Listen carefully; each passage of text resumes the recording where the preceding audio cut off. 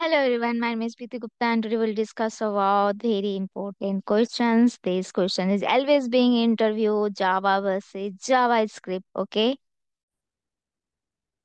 But uh, have you heard on Java and JavaScript sound similar, but they are completely different. Let's understand what is the difference between Java and JavaScript. So features on Java is type is uh, compiled language and JavaScript is interpreted language. Okay, in executions is run on JVM rather than JavaScript it runs in browsers and Node.js. Okay, uh, usage is backend and uh, Android app in Java, but in JavaScript usage in front end and web development means web app.